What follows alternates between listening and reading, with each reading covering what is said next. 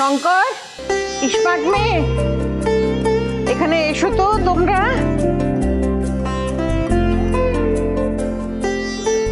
হ্যাঁ মা বলো।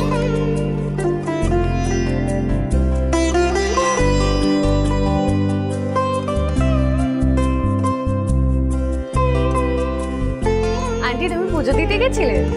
বারে পুজো দেব না? আজকের দিনে যে আমার ঘরের লক্ষ্মী আমার ঘরে এসেছিল।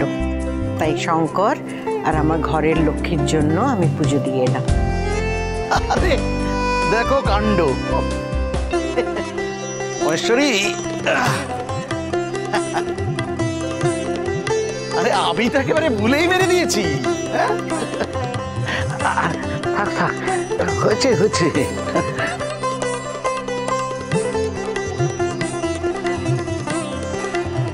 সুখী হও, মা। সারা জীবন তোমরা একে অপরের হাতে হাত রেখে চলো। হ্যাঁ খুব খুব খুব সুখী হও দুটিতে মিলে। আর তোমরা দুজন এইভাবেই আমাদের সংসারের হালটা চিরকাল ধরে রাখো, একদম শক্ত হাতে।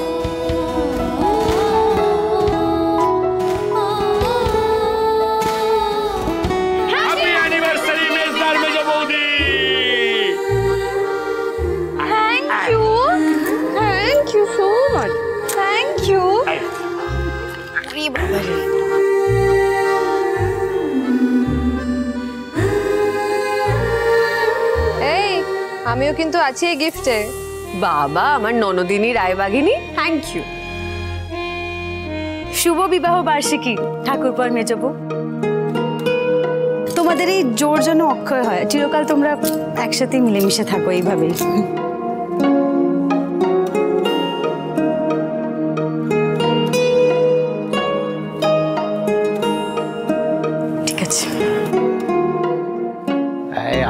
তাহলে বেশ ভালো মন্দ রান্না হবে হ্যাঁ? এই আজকের মেনুটা না আমি বলছি দিবাকর তুই একটা কাজ কর বুঝলি? ওই তুই বাজার থেকে ওই ইয়ে নিয়ে আয় ওই গলদা চিংড়ি আর ওই তুমি একটু থামবে? আমাকে বলতে দাও। দিবাকর গলদা চিংড়ি তো আনবি সঙ্গে দুটো নারকোল আনবি। আমার শঙ্কর চিংড়ি মাছের মালাইকারি খেতে বড্ড ভালোবাসে। ও ছেলে কি ভালোবাসে সেটা হবে আর আমি? ও তোমার জন্য হবে না সেটা কখনো হয়। দিবাকর কচু শাক আনবি আর একটা ইলিশ মাছের মাথা আনবি।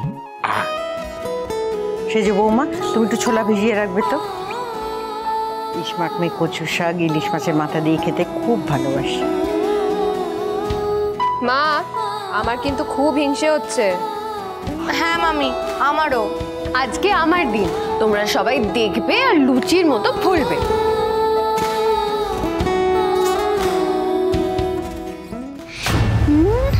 আদিক্ষিত হচ্ছে দেখো। আজকে সব রান্না আমি করব। না না মা তুমি কিছুদিন আগে অসুস্থ ছিলে। তোমাকে এত রান্না বান্না খাটাখাটনি করতে হবে না। সব রান্না আমি করে দেবো। চুপ করতে দেখি। তোদের দুটোকে ফিরে পেয়েছি। আজ আমার খুব আনন্দের দিন। তাই আজ হেসেলে কেউ ঢুকবে না। কেন? হেসেলে কেউ ঢুকবে না কেন?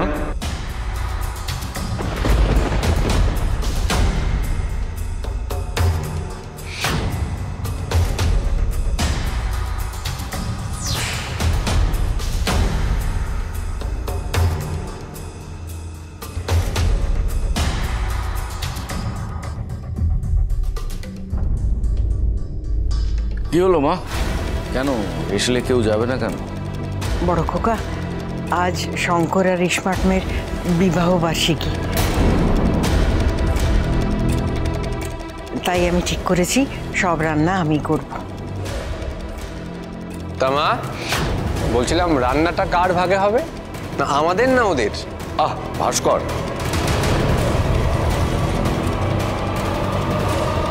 বড় বউ, তুমি তো দেখছি কিছুই খেয়াল রাখছো না। না না এত বড় ঘটনা তোমার বেখেয়াল হবে কি করে? তুমি তো তোমার কোনো দায়িত্বই পালন করতে পারছ না। এ- ইয়ে মানে আসলে না না না না না মানে মানে না করে তুমি এখন কথা বন্ধ করো।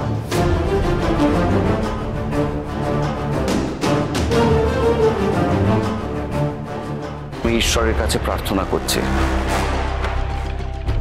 আমি শঙ্কর আর মেজ বউয়ের ভালোর জন্য মহেশ্বরের কাছে মন দিয়ে প্রার্থনা করব। তোমাদের যেন মঙ্গল হয়।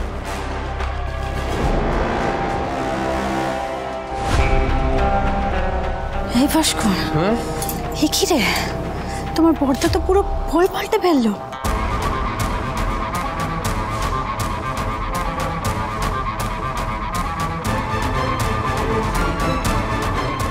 আমার তো কিছুই জানা ছিল না বলেনি কেউ। আমার কোনো উপহার নেই কাছে।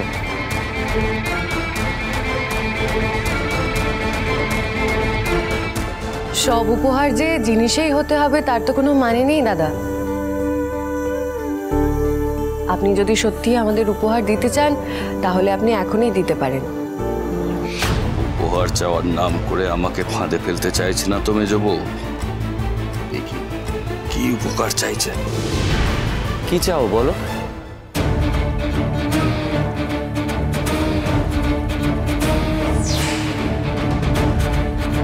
আজকের দিনে আমি প্রথম এই বাড়িতে পা রেখেছিলাম। আজকে আমার জীবনের বিশেষ একটা দিন। ওই সদর দরজায় আন্টি বরণ করে আমাকে ঘরে তুলেছিল।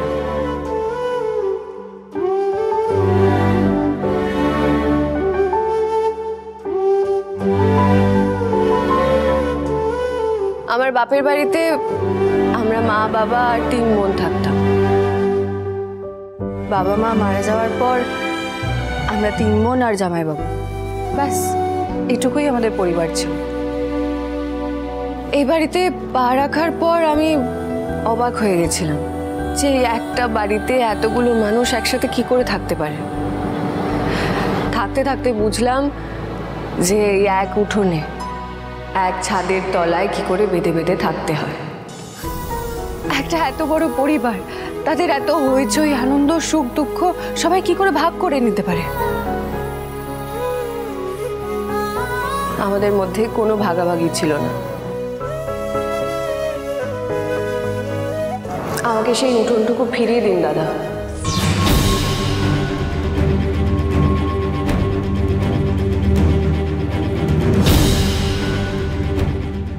সেটাই আমাদের বিবাহ বার্ষিকীর সবচেয়ে বড় উপহার হবে।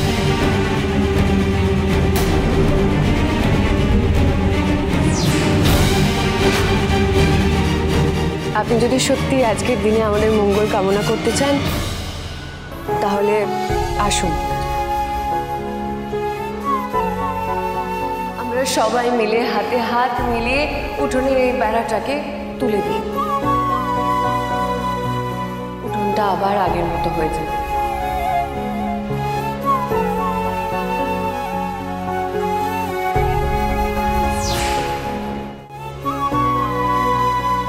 আপনি আঙ্কেল আন্টিকে আবার একসাথে থাকতে দিন। আমরা সবাই মিলে আবার একসাথে রান্না করব, খাব।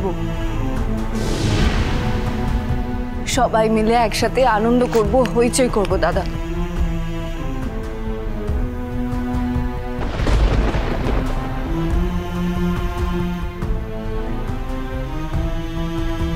দাদা, আমি তোকে বলেছিলাম না? আমি ঠিক সময় মতন তোর কাছ থেকে চেয়ে নেব। আমার আর ঐশানের ইচ্ছে দাদা যে তুই এই বেড়াটা ভেঙে দে। মা বাবাকে এক করে দে দাদা, আমরা সবাই একসাথে থাকি দাদা।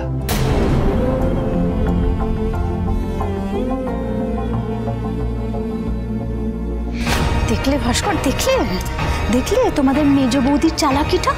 তোমার বর্দাকে সবার সামনে ছোট করবে বলে এই উপহারটা চেয়ে বসল ছাড়ো না। বর্দা কিছুতেই রাজি হবে না।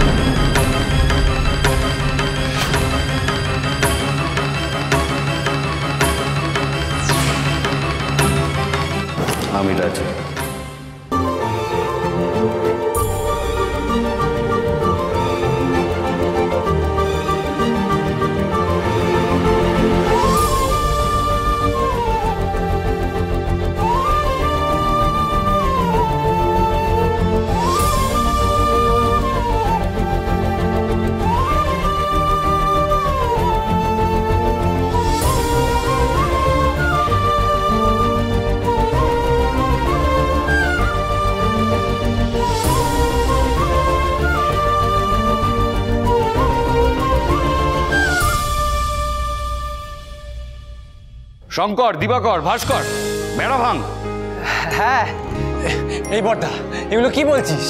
আরে যা বলল সেটা তো নিজের কানে শুনলি। ভাঙ বেড়া। বলছিলাম গো বেড়াটা থাকলেই ভালো হতো না? না মানে রাত দিন খালি খিটির মিটির এই ঝগড়াঝাটি তো সব সংসারই হয় বৌমনি। চিরকালের মতন বেড়া ভেঙে দিবি তো বড় খোকা? হ্যাঁ মা চিরকালের মতো। আমি আর তোর বাবা আবার একসাথে থাকব? হ্যাঁ মা। হ্যাঁ মা, থাকবে। থাকবে।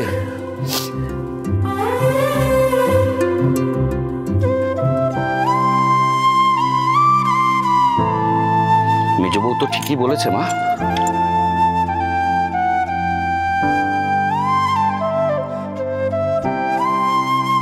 এটার সত্যি কোনো দরকার নেই। এটা আমার বুকেও বাঁধছিল